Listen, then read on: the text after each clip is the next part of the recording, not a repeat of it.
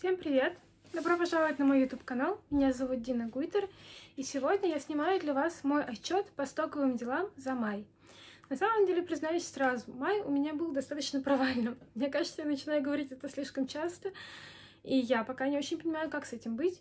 А, так что какие-то предложения в комментариях приветствуются. Но Дело в том, что вы помните, я планировала за май загрузить 150 работ, и я тотально провалила этот план. Я загрузила за май а, всего 50 а, работ, по-моему, около того, 48. 58? 48. 48 работ я загрузила всего за май на Shutterstock. И это очень-очень мало, я провалила все свои планы, и мне очень грустно признаваться в этом, а, но этому есть две основные причины. Первое — это то, что меня очень сильно мотало то вправо, то влево, и я половину месяца провела в думах о том, чтобы все таки податься на Creative Market, и я переоценивала свое портфолио, я скинула его в несколько э, творческих чатов, э, иллюстраторских, попросила людей высказать свое мнение о моем портфолио, которое на Behance, кстати, ссылка есть э, здесь в описании под видео, если вам интересно посмотреть. Вот, в общем, мое портфолио критиковали в пух и прах, сказали, что оно совершенно не подходит для э, того, чтобы подаваться на экзамен на креатив, что оно достаточно устаревшее, что темы там достаточно не трендовые, и что если я не готова хотя бы перерисовать вообще все проекты, то в таком случае мне нужно как минимум переоформить мое портфолио. Мне сказали, что у меня несовременное оформление, что у меня слишком мало макапов, а, и что у меня не используются несовременные шрифты, несовременные дизайны, и что мне нужно больше уделить внимание тому, а, как я буду а, подавать свои проекты, чтобы я показала на обложках больше чего-то такого позиционирующего весь проект, чтобы я поместила на обложке макапы, чтобы я пересмотрела, в принципе, всю верстку всех своих проектов и сделала ее более трендовой.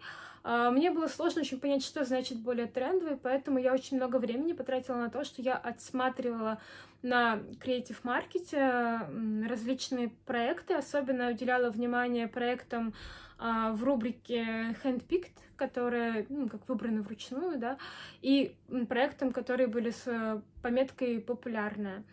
Вот. Также смотрела статьи по трендам, которые есть у самого Market, и еще разбиралась немножечко с их современным интерфейсом, потому что, может быть, я не знаю, слышали вы или нет, но Creative Market недавно продали, и теперь он вроде как является частью дрибла, и, соответственно, там произошли тоже какие-то изменения, и в том числе в интерфейсе. И мне еще понадобилось время, чтобы адаптироваться и начать там что-то находить. И, в общем, я убила на это кучу времени, прежде чем я поняла, что, по сути, я не знаю, а стоит ли мне переоформлять мои старые проекты, или все-таки стоит нарисовать новые, потому что, ну, если я даже переупакую свои старые проекты в более, более современный лад, не факт, что я пройду с этим экзамен. И вообще, стоит ли мне проходить экзамен? Скорее всего, мне все равно откажут. Надо ли тратить время на то, чтобы переоформлять целых пять проектов, чтобы потом получить отказ? А стоит ли рисовать новые проекты, чтобы снова получить отказ? В общем, я не знаю. Я вот в таких вот метаниях провела пару недель, и я, соответственно, грузила на стоки очень слабо, очень мало, хотя у меня есть готовые работы, но я никак не могу их атрибутировать. Ну вот я атрибутировала сколько? 60 я атрибутировала, из них 48 я загрузила. На самом деле я загрузила больше, но у меня очень много что отклонялось, и я, конечно, не очень понимаю, почему.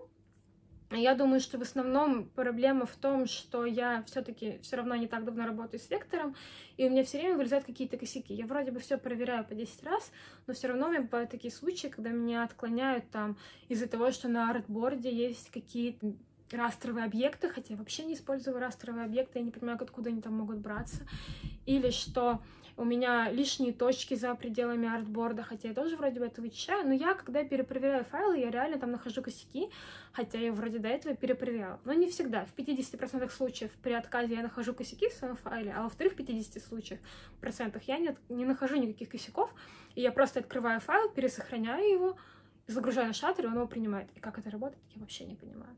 В общем, какой-то, видимо, глюк. Кстати, на тему шаттера.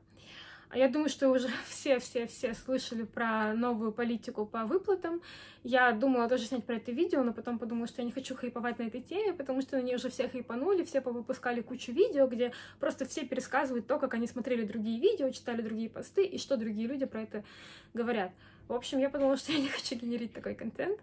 Вот. Э, я думаю, что вы все уже читали. Если не читали, то можете загуглить. Мне очень понравилась статья у Ивана Рябоконя, Рябо, Иван Рябоконь в Инстаграме, можете так и вбить, Иван Рябоконь, вам выпадет его аккаунт. Он написал целых три подробные статьи на тему того, что он думает, на тему того, что творится на шатеровском форуме. И мне кажется, что вот к этим статьям практически уже нечего добавить, ну, реально. Да, у меня вызывает немножко панику а, эта вся ситуация, потому что для меня сейчас Шаттерсток был стоком, на который я ставила больше всего. Я веду по нему отчет по моему челленджу, и я рассчитывала на то, что он будет моим основным стоком по прибыли. И несмотря на то, что сейчас Сложно сказать, какой из стоков у меня основной по прибыли, потому что у меня сейчас, наверное, Adobe, Shutter и iStock — идут приблизительно ну, очень близко друг к другу, но тем не менее мой основной расчет был именно на шаттере. В общем-то, сейчас я немножко в смятении, но я не предаюсь панике. И мне кажется, что вообще предаваться панике рано не стоит. Сегодня только эти изменения вступили в силу, мы пока еще не знаем, какие будут выплаты. Я знаю, что сегодня народ эм, в чатах пишут, что у них пока что идут выплаты по старому прайсу, то есть прайс почему-то не обновился, и сейчас еще идут выплаты так, как они шли раньше, поэтому все еще мы в ожидании того, какие же будут выплаты после того, как Шаттер внесет все-таки обновление. А, также я знаю, что многие предполагали, что будут изменения в подписках для покупателей, что, возможно, Шаттер снизит стоимость подписки в том числе, чтобы привлечь новых клиентов. Но этого пока тоже не произошло, и подписки все находятся на том же уровне, на котором были вчера. В общем, я считаю, что в этой ситуации мы сделать совершенно ничего не можем. Но максимум, что мы можем сделать, это вот подписать петицию. А, но я опять-таки не уверена, что стоит это делать, потому что лично я не думаю, что на это что-то повлияет. Но если вы хотите как-то что-то сделать, то вы можете посмотреть у Ивана подробную статью о том, что он, по его мнению, считает полезными мерами по борьбе с этой ситуацией, а что он считает и делать не имеет смысла. Он там все это подробно-подробно написал. Я ссылку оставлю в описании к этому видео, чтобы вы могли посмотреть, сами почитать и подумать, хотите ли вы что-то из этого применять на свой аккаунт или нет. Я для себя решила занять позицию выжидания, а, посмотреть, как будут дальше двигаться дела, как будут идти выплаты, а, повысится ли количество продаж, потому что я знаю, что вот, например, а, была подобная ситуация с эм, айстоком, несколько года полтора, мне кажется, назад, а, когда он тоже резко поменял политику выплат и понизил ставку, и сделал тоже проценты от продаж, и там начали появляться какие-то безумные продажи по там 2 цента, по 3 цента и так далее и много кто бойкотировал исток, и тоже подписывали разные петиции. Я тогда еще не была там зарегистрирована, поэтому мне, конечно, сложно сказать какую-то адекватную информацию, но сейчас, когда я начала работать с истоком, я с ним работаю третий месяц, я поняла для себя, что несмотря на то, что сейчас у меня на истоке портфель меньше, чем на шаттере, продает он вровень с шаттером. И, в принципе, меня это устраивает. Может быть, конечно, он раньше продавал еще лучше, но я слышала отзывы про то, что с тех пор, как он ввел эту политику процентную, а продажи там повысились, и что люди, которые там остались, стали получать больше денег. Не знаю, с чем это связано. Может быть, это просто мне попадались такие люди, у которых сложилась такая ситуация. Может быть, такая ситуация была не у всех. Кстати, если вы сталкивались с этим в тот период, то напишите, как у вас было с истоком тогда и чего вы ждете сейчас от шаттера. А хотите ли вы участвовать в каких-то вот этих сборе там подписей или блокировках а, своих портфелей или нет. Я еще расскажу, что я лично нет. Я как грузила, так и буду грузить. И я буду ждать, что же будет происходить с выплатами. Я хочу погрузить еще точно пару месяцев, чтобы посмотреть вообще, как будет это работать новая система, как это скажется лично на мне, и потом уже буду делать выводы. Но мне кажется, что реально повлиять на это достаточно сложно. Все, что мы можем сделать, это не складывать все яйца в одну корзину. Это не знаю, мега банальная и мега умная поговорка, потому что э, реально риски нужно это умное слово, диверсифицировать. Я все время не уверена, как его произносить.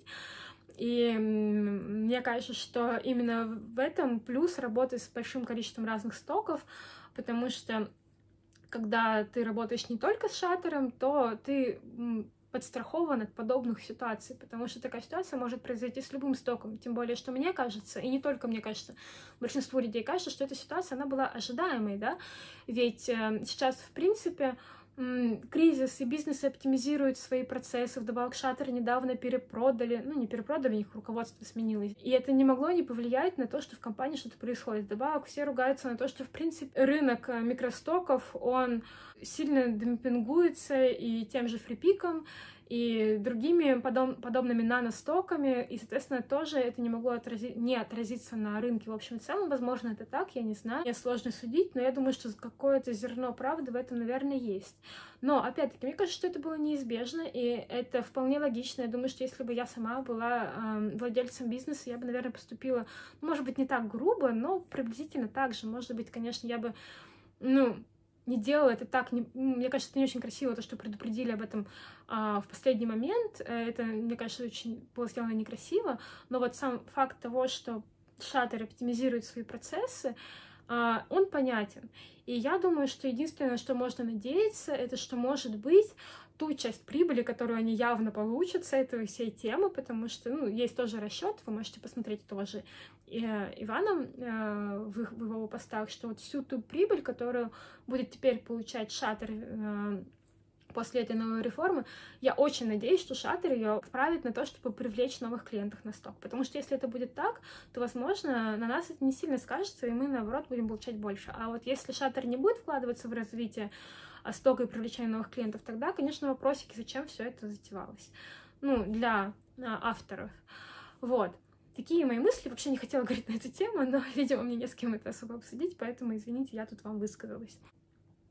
Какие итоги у меня месяца? Соответственно, я уже сказала, что я провалила свой план 150 работ, загрузила 48 на шаттер, еще я загрузила около 60 работ на iStock, а, на фрипик я больше не грузила, и пока не знаю, буду грузить или нет, потому что а, все-таки э, они реально понизили стоимость продажи, то есть у них раньше была маленькая 11 центов, а я смотрю, тут второй месяц уже вообще 7 центов, и это как-то совсем безумие, и они обещали, что это будет временно, но что-то как бы нет ничего более постоянного, чем временно, потому что это длится уже второй месяц, и несмотря на то, что, конечно, да, фрипик мне при приносит там по 5-6 евро в месяц, но мне кажется, что это не стоит того, не знаю. Я, короче, пока так и не определилась, я пока туда больше не гружу, я не знаю, буду ли я грузить туда еще. Я пока думаю об этом, возможно, я буду туда грузить те работы, которые мне, ну, совсем-совсем не жалко, а, какие-то старые работы, в принципе, я туда и грузила старые работы, ну, в общем, не знаю. Пока что про это ничего говорить не могу, я туда уже второй месяц ничего не грузила, он просто так продает вот те вот работы, которыми прошли экзамен, и продает. А с остальными стоками тоже продажи потихонечку идут, но в общем и целом у меня этот месяц, конечно, хуже, чем прошлый. А мои коронавирусные человечки окончательно перестали продаваться, видимо, все, хайповая тема упала, больше никто не хочет говорить про коронавирус. Я даже вижу, что люди вокруг тоже уже не очень хотят поднимать эту тему. А, ну, на самом деле, наверное, все уже устали от этого и хотят чего-то другого. И вот на шаттере у меня в этом месяце продавались э, стандартные нейтральные темы. Фрукты, цветочки, домашние растения, цвет, фото цветочков, рисунки цветочков, цветочные паттерны. В общем, весна, весна, весна. А, люди ждут весну. Ну и, собственно говоря, продавались у меня а, сеты с цветами и фруктами и паттерны с цветами и фруктами. Вот, две темы, которые у меня продавались больше всего. Продаж у меня на шаттере тоже было мало, их было всего 18 за весь месяц, но я думаю, что это из-за того, что я долго не грузила, и грузила очень мало. У меня был большой перерыв почти в три недели, и потом я начала как-то активно грузить, но это не сильно помогло, может быть, в следующем месяце как-то подтянется. Посмотрим. Я опять начинаю думать о том, что, что я все-таки неправильно э, веду себя в отношении к стокам. Я все время строю глобальные планы о том, как я что-то поменяю, но по факту я мало что меняю. Может быть, вы даже заметили по этим видео, мне очень стыдно. Но что поделать, видимо, мне на все не хватает. И я в очередной раз понимаю, что я все время планирую рисовать какие-то трендовые темы. Я часто начинаю разрабатывать эти темы, и у меня лежит сейчас несколько тем в разработке, но при этом я не начинаю их рисовать, я начинаю их грузить. Но я гружу старое. Я сейчас кружу рисунки, которые я рисовала там год назад, полгода назад. Я их тогда рисовала вообще не думая о стоках, хотя я рисовала их для стоков, но я тогда не анализировала темы так, как я анализирую их сейчас. И получается, что я по факту в голове уже стала а, анализировать темы и лучше думать, что подходит для стоков, что не подходит для стоков, но при этом гружу я все еще не стоковые вещи, и это какой-то разрыв э, между тем, о чем я думаю и что я делаю. Я не очень понимаю, откуда он берется. И главное, у меня так много незагруженных работ на шаттер, так много. У меня проектов, наверное, 30, которые ждут обработки и загрузки и которые я рисовала под стоки, и теперь я понимаю, что, в принципе, они, конечно, неплохие сами по себе, но они не такие будут востребованы, то есть их можно загрузить, но нельзя ждать, что вот они точно будут продаваться, это скорее загрузить до кучи, может, что продастся. И я вот сейчас несколько в ступоре, как же мне быть, все-таки продолжать придерживаться политики, грузить то, что нарисовано, и потихонечку рисовать новое, или поставить крест на моих старых работах и начать рисовать э, то, что больше соответствует современным тенденциям, пытаться влиться в трендовые темы и в трендовые стили для того, чтобы все-таки раскачать продажи. Я понимаю, что я, наверное, уже не в первый раз об этом говорю, но, видимо, мне тяжело внутри принять это решение. Тем более, что столько всего нарисовано, и мне многие из этих проектов реально очень нравятся, они очень красивые, всякие, у меня там есть грибочки красивые нарисованы, рыбки, э, всякие цветочки такие, цветочки сякие, и все это такое милое. Я представляю, как из всего этого будут такие красивые паттерны. И я думаю, ну как, как же это не загрузить, ведь оно же вот лежит, ждет такое своей загрузки, такое красивое. В общем, я могу сказать, что у меня май был сплошным месяцем дилемм. Э, несмотря на то, что я вроде бы поняла, куда я хочу двигаться в рамках стоков, э, по конкретным делам, которые я делаю, видно, что меня все равно шатает, несмотря на то, что в голове уже есть какая-то определенность. Посмотрим, куда меня это приведет. А по остальным стокам, что было с продажами? На Adobe у меня было 4 продажи, на Dreams у меня было, по-моему, три продажи или четыре, на депозите тоже четыре, на 1, 2, 3 РФ две, три, три. Вот, в общем, на остальных стоках продаж по чуть-чуть. А, статистику с стока а, скажу в конце месяца, потому что пока ничего не понятно, но кстати, я, по-моему, не говорила про статистику за апрель, пришла статистика за апрель, и там у меня несколько продаж, в общем и целом, на 5 долларов. В общем-то, iStock меня радует, и я пока что гружу, причем туда только архивы. Но это там продаются в основном коронавирусные человечки все еще. Кстати, на всех вот стоках, э, так сказать, второго эшелона у меня тоже все еще продаются коронавирусные человечки. Хотя на шаттере и на Adobe они уже не продаются, они уже как бы утонули. А, я думала о том, чтобы порисовать что-то еще на эту тему, но как-то так руки не дошли, и сейчас я думаю, что, наверное, уже не буду. У меня начали сверлить соседи, извините, но я уже, наверное, сниму это видео, потому что свет уходит, и надо успеть доснять сейчас, чтобы не выкладывать потом. Что еще по э, новостям? Э, я э, стала больше рисовать в векторе, и я думаю о том, чтобы попробовать нарисовать целый векторный набор, наверное, какую-нибудь трендовую тему. Посмотрим, что из этого выйдет. Надеюсь, что получится. Надеюсь, что я э, не отложу, а доделаю. Я начала осваивать э, Procreate. Посмотрим тоже, куда это приведет. В общем, продолжаю копаться с iPad. И еще у меня есть очень классная новость. Я решилась открыть свой блог на Патреоне. Это будет секретный блог эм, только для моих патронов, подписчиков, вы можете подписаться на него, и там у меня есть два тарифа. Первый тариф за 2 доллара, это как чашечка кофе вкусного в месяц, где я э, собрала для вас материалы, которые, в принципе, вы можете найти в свободном доступе у меня, но они разбросаны по разным соцсетям, а там все собрано в одном месте. И э, если вы хотите сказать мне спасибо за мою деятельность, за марафоны, которые я провожу, за а, полезные видео, которые для вас снимаю, то я буду очень рада, если вы подпишетесь на этот тариф. Спасибо, в котором вы сможете э, в одном месте видеть все мои полезные статьи про творчество, которые я собрала из Инстаграма, и э, ежемесячные отчеты, в которых я буду дополнительно прикладывать все скриншоты всех работ, которые продались э, на стоках. И также там я собрала полностью воедино весь марафон по стилизации. Все видео, фото и тексты. Вы можете там пройти этот марафон, это будет гораздо удобнее. И я планирую дальше писать туда различные статьи, а, может быть, дополнять, как, э, дополнять какими-то интересными постами или аудиоподкастами. Я пока думаю на эту тему. Вот, и также там есть второй вариант подписки, это большое спасибо, она за 5 долларов, и в рамках этой подписки э, я планирую с вами э, делиться различными закрытыми такими вещами, которыми я не готова делиться в открытом доступе на ютубе или в инстаграме. Например, я решила, что я там буду снимать более подробные отзывы о различных курсах и движухах, которые я проходила, буду рассказывать про свои инсайты, про какие-то упражнения отдельные, которые меня вдохновили. Также там уже сейчас можно увидеть пробный урок из нашего курса «Делай паттерны», который мы сделали совместно с Ритой Кругловой. И если вы хотите на этот курс, но вы сомневаетесь, то вы можете подписаться на э, мой Patreon и посмотреть там пробный видеоурок, он длится полтора часа, он очень классный, особенно подходит для тех, кто никогда не работал особо с фотошопом, потому что я там подробно рассказываю про работу с фотошопом. И также он подходит тем, кто любит рисовать паттерны от руки, потому что там есть очень классный способ, который я нигде еще не видела, по крайней мере, на русскоязычном ютубе точно. Он очень классный, очень простой и очень вдохновляющий. Мне очень нравится такой способ создавать паттерны. А, также там сейчас лежит полезный вебинар а, вводный а, по моему курсу «Путь художника». Дело в том, что мы, может быть, вы помните, что я и Лидия Нуриева, мы делали два раза, или три раза, три раза, курс «Путь художника» а, по книге Джулии Кэмерон. Но это не просто курс по книге, мы полностью этот курс переработали, потому что книга была написана еще там в 70-х, по-моему, годах, и там очень много информации, которая устарела.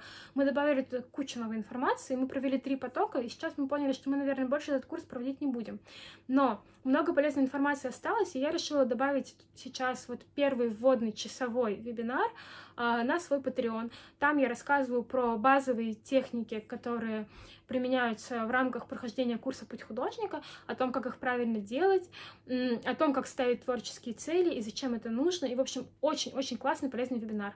Если вам интересно, если вы хотите поблагодарить меня за всякие полезности, которыми я с вами делюсь, то переходите и подписывайтесь, я буду очень рада. Также я поставила себе цель, что как только у меня наберется 30 подписчиков, 30 патронов на Патреоне, я проведу там закрытую движуху марафон а, по раскрытию вот такого творческого как, вдохновения, а, поиску творческого вдохновения с различными классными упражнениями и видеоуроками.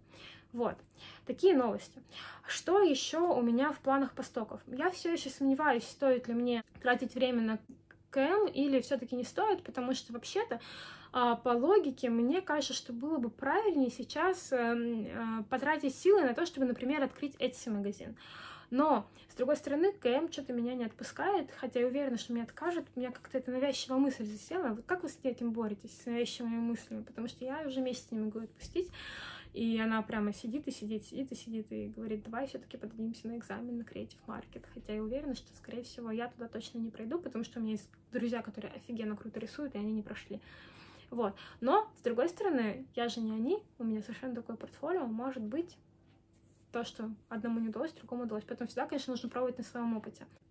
Я сейчас э, постараюсь, наверное, поставить себе в этом месяце цель э, рисовать хотя бы одну трендовую векторную тему для стоков а, для того, чтобы выработать у себя привычку а, хотя бы одну тему вот в месяц рисовать и доводить ее до конца и делать ее более осознанно, а, больше анализировать и больше делать упор именно на то, чтобы эта вещь, эта тема была стоковой.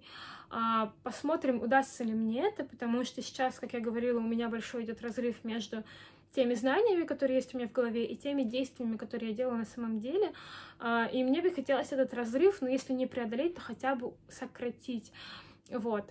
А, как ваши стоковые дела? Как вы отреагировали на а, изменения на шаттерстоке? Какие у вас дальнейшие планы? Делитесь в комментариях, ставьте лайки этому видео, подписывайтесь на канал. Ну и, конечно, если вы хотите поблагодарить меня за всякие полезности и движухи, или если вы хотите принять участие в будущем марафоне на Патреоне, то переходите, ссылочку я тоже оставлю внизу, смотрите, подписывайтесь, там есть открытый пост со всеми-всеми штуками, которые уже сейчас там есть, там сейчас более 20 статей, и Соответственно, вы можете посмотреть и подумать, хотите или нет. Если что, всегда можно отписаться, поменять подписку и так далее. Но сейчас самое выгодное время для того, чтобы присоединяться, потому что это начало месяца, и там подписка идет на месяц. Соответственно, если вы присоединитесь, например, 15 числа, то у вас будет только две недели до следующего начала следующего месяца. А сейчас месяц только стартовал, и вот можно еще присоединиться. Я буду и дальше туда снимать всякие классные движухи и видео, наверное, два или три раза в месяц, там будут выходить какие-то закрытые э, полезности только для Патреона. Вот. Все, спасибо всем большое, что досмотрели мой очень длинный отчет э, с очень маленьким количеством новостей и очень большим количеством мыслей. Э, я постараюсь в следующий раз сделать отчет более коротким, но это отчет месяц, по итогам месяца, так что, в принципе, наверное, простительно. Вот. Еще раз подписывайтесь на канал, ставьте лайки. Всем удачи и пока-пока.